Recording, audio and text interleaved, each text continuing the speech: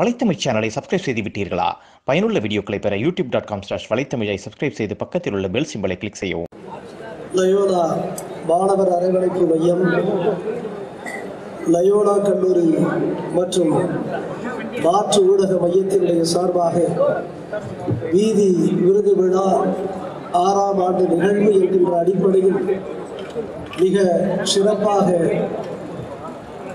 கலைஞர்களினுடைய சங்கமம் என்று சொல்லக்கூடிய அளவிற்கு உணர்வுபூர்வமாக நடக்கின்ற இந்த நல்ல நிகழ்விலே கலந்து கொண்டு எனக்கு முன்பாக உரையாற்றி அமர்ந்திருக்கின்ற லயோனா கல்லூரியினுடைய அன்பிற்குரிய அதிபர் அருள் தந்தை அவர்களே அன்பிற்குரிய முதல்வர் அருத்தந்தை அவர்களே அன்பிற்குரிய கல்லூரியினுடைய செயலர் அருட்தந்தை அவர்களே மற்றும் இந்த மேடையிலே வீற்றிருக்கக்கூடிய கலைஞர்களே பேராசிரியர் காளீஸ்வரன் அவர்களே பெருமக்களே இளைஞர்களே மாணவர்களே உங்கள் அத்துணை பேருக்கு உங்களுடைய முதற்க முழக்கத்தை தெரிவித்துக் கொள்கிறேன்.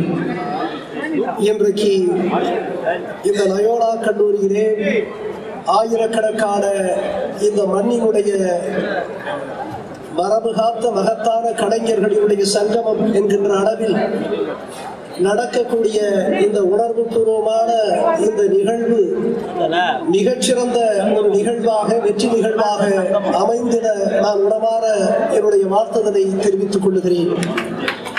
அன்பிற்குரியவர்களே தமிழர்கள் ஒரு மிக முக்கியமான ஒரு வரலாற்று காலகட்டத்தில் இருக்கிறார்கள் என்று நான் நம்புகிறேன்.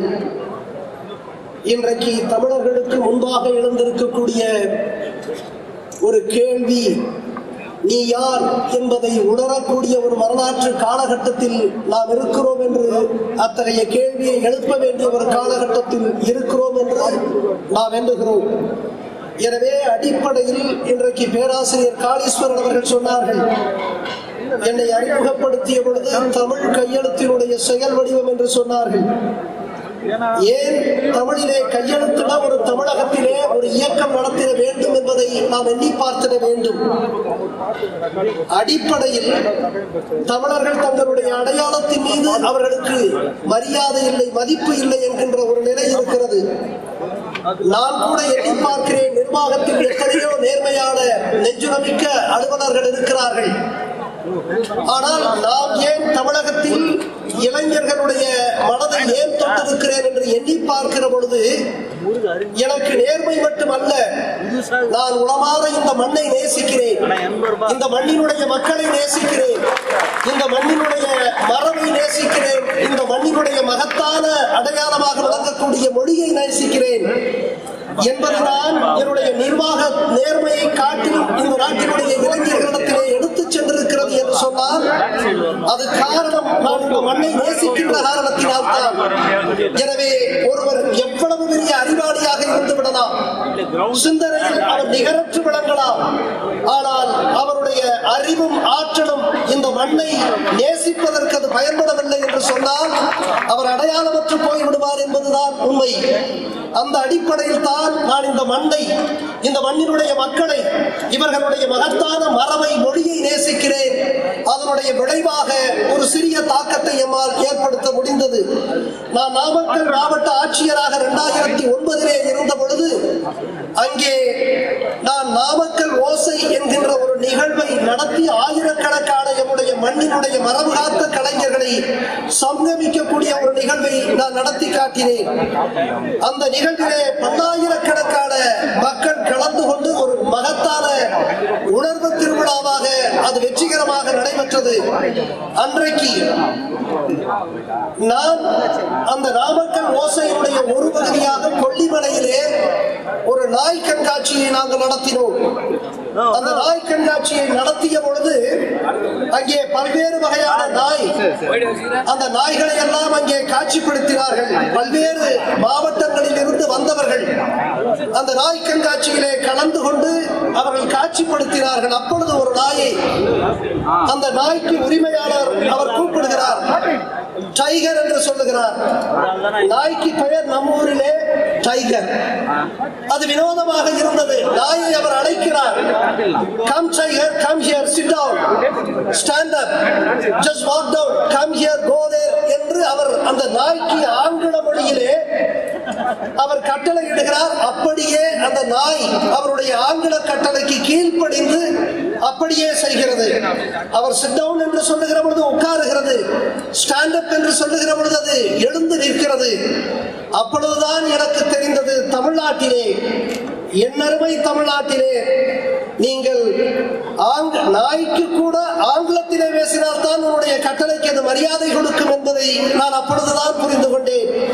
அன்பிற்குரியவர்களே நம்முடைய மகத்தான அடையாளமாக விளங்கக்கூடிய நம்முடைய தமிழ் மொழி அது இன்றைக்கு எங்கே இருக்கிறது என்ற கேள்வி எழுகிறது. ஆங்கில மொழியை நாம் கற்றுக்கொள்ளுவோம். உலகத்தை தமிழர்கள் வெல்வதற்கு ஆங்கிலம் உதவும் என்று நானும் நம்புகிறேன். ஆனால் தமிழ் மொழியினுடைய அழிவில்தான் ஆங்கிலம் வளரும் என்று சொன்னால் அப்படிப்பட்ட ஆங்கில ஆற்றல் நமக்கு தேவையில்லை என்று நாம் உணர்கிறோம். நான் ஒரு உறவினர் வீட்டுக்கு சென்றேன் அப்பொழுது உறவினர் வீட்டுக்கு செல்லுகிற பொழுது உறவினர் வீட்டிலே அங்கே இருக்கக்கூடிய குழந்தை அம்மாவை அப்பாவை மம்மி டேடி என்று அன்போடு அழைத்தது பேசுகிறது. சென்றிருந்த நான் சொன்னேன் நாமெல்லாம் தமிழர்கள். நம்முடைய உறவை அழைப்பது நாம் அம்மா அப்பா என்று அன்போடு உணர்வு பூர்வமாக அழைக்கலாம் என்று சொன்ன பொழுது அந்த குழந்தை என்ன தெரியுமா சொன்னது? சரி அங்கிள் என்று சொன்னது. அன்பிற்குரியவர்களே இன்றைக்கு நம்முடைய தமிழ் எங்கே இருக்கிறது என்று கேள்வி எழுகிறது. அப்படிப்பட்ட நிலையில் தான் நம்முடைய மகத்தான அடையாளமான நம்முடைய மொழி நம்முடைய கலை நம்முடைய மரம். மரபுகளை எல்லாம் மீட்டெடுக்கக்கூடிய ஒரு முயற்சியாக நம்முடைய இந்த தமிழ் கையெழுத்து இயக்கத்தை நாம் வெற்றிகரமாக தொடங்கினோம். அந்த அடிப்படையில் இன்றைக்கு இன்னொரு முயற்சியாக பேராசிரியர் காளீஸ்வரன் அவர்களுடைய தலைமையில் நடக்கக்கூடிய இந்த மகத்தான மரபு கலைஞர்களுடைய சங்கமாக இருக்கக்கூடிய இந்த நிகழ்விலே நான் கேட்டுக்கொள்வதெல்லாம் நம்முடைய கலைகளை நாம் அங்கீகரிப்போம். நம்முடைய மண்ணிற்குரிய கலைகளை நாம் மதிப்போம். எத்தனை பாப்பிசை வந்தாலும் நம்முடைய பாமர இசைக்கு அது ஈடாகாது என்பதை நாம் உணர்வோம். நான் இன்றைக்கு எண்ணி பார்க்கிறேன். என்னுடைய கிராமத்தில் புதுக்கோட்டை மாவட்டத்தில் ஒரு சாதாரண கிராமத்தில் ஒரு எளிய விவசாயியுடைய பிள்ளையாக வளர்ந்தவன் நான். இறுதியிலே இந்த கல்லூரியிலே நான் படித்தேன் என்று பெருமையோடு சொல்லிக் கொள்ளுவேன் நம்முடைய அதிபர் கூட சொன்னார் இரண்டாயிரத்தி பதினான்கிலே இந்த கல்லூரியில் படித்த மிகச்சிறந்த மாணவர்களாக வெளியே சென்று சமூகத்திற்கு பங்காற்றியவர்களுக்கு விருது வழங்கக்கூடிய ஒரு நிகழ்வு நடந்த பொழுது முதல் விருதை எனக்கு அளித்தார்கள். இரண்டாயிரத்தி பதினாலிலே முதல் விருதை நான் பெற்றேன். நான் கூட சொன்னேன் இந்த சமூகத்திற்கு நாம் பெரிதாக எதையும் செய்துவிடவில்லை. அது உங்களுடைய பெருந்தன்மையை காட்டுகிறது. உங்களுடைய மாணவனை அங்கீகரிக்கக்கூடிய உங்களுடைய பெருந்தன்மையை பாராட்டுகிறேன் என்று சொல்லு சொல்லி சொன்னேன். அதுபோல அன்பிற்குரியவர்களே இது நம்முடைய கலை. நான் சிறுவனாக இருந்த பொழுது எம்முடைய கிராமத்தில் அங்கே தெருக்கூத்து நடக்கும் அங்கே நாடகங்கள் நடக்கும். எப்படிப்பட்ட நாடகங்கள் என்றால் வள்ளி வள்ளி திருமணம் பவளக்கொடி ஹரிச்சந்திர மாயானகண்டம் நல்லதங்கா கதை சத்தியவான் சாவித்திரி கெட்டபோவன் என்றெல்லாம் இரவு முழுவதும் நடக்கக்கூடிய அந்த பிடாரியம்மன் கோயிலுக்கு முன்பாக நடக்கக்கூடிய அந்த நாடகங்களை பார்ப்பதற்காக நாங்கள் நூற்றுக்கணக்கிலே கிராம மக்கள் எல்லோரும் போய் அமர்ந்து அங்கே பார்ப்போம். இரவு பத்து மணிக்கு தொடர்ந்து வந்தால் விடிய விடிய நடக்கக்கூடிய அந்த நிகழ்வு அவ்வளவு உணர்வு பூர்வமாக இருக்கும். அங்கே இன்னொருவர் வசனம் பேசுவதற்கு வாயசைக்கக்கூடிய நிகழ்வெல்லாம் இல்லை. யாரோ ஒருவர் எழுதி கொடுப்பதை யாரோ ஒருவர் பாடுவதை அங்கே மேடையிலே வாயசைப்பதற்காக இல்லை அந்த கலைஞர்கள் அவர்கள் உண்மையான உன்னதமான கலைஞர்கள் அப்படியே பாடுவார்கள். மெய்மறக்க மணிக்கணக்கில் பாடக்கூடிய அந்த மகத்தான மண்ணினுடைய கலைஞர்களை நான் மெய்சிலிருக்க பார்த்திருக்கிறேன். இங்கே அவர்களுடைய சங்கமம் நடக்கிறது. அதற்காக துணை நின்ற நயோனா கல்லூரிக்கும் இந்த பெருமுயற்சி எடுத்த பேராசிரியர் காளீஸ்வரன் அவர்களுக்கும் என்னுடைய வாழ்த்துதலை தெரிவித்து இந்த வாய்ப்புக்கு நன்றி கூறி உரை முடிக்கிறேன். வணக்கம்.